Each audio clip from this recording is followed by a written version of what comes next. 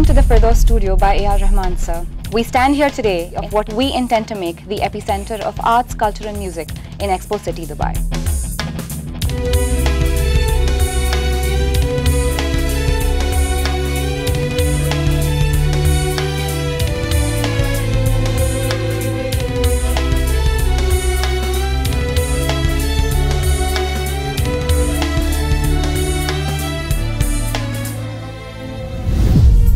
Very proud to be here, as if I didn't just hear the music, as if I made the music.